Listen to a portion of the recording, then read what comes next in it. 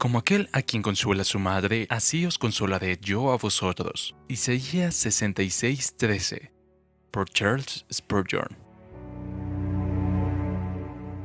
El consuelo de una madre es la ternura misma. Cómo se adentra una madre en el dolor de su hijo, cómo lo estrecha contra su pecho y trata de extraerle toda su aflicción para trasladarla a su propio corazón.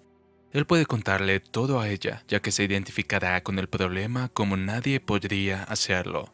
Entre todos los consoladores, el niño prefiere a su madre, e incluso hombres adultos han descubierto que esto es así.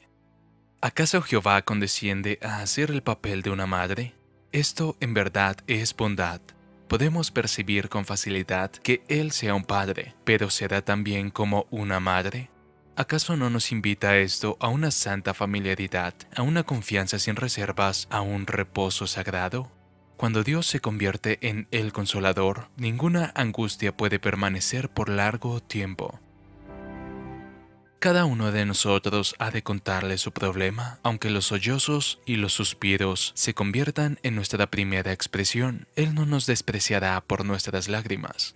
Nuestra madre no lo hizo. Él considerará nuestra debilidad así como lo hizo ella y quitará nuestras faltas, solo que lo hará de una manera más cierta y más seguro de lo que nuestra madre podría hacerlo.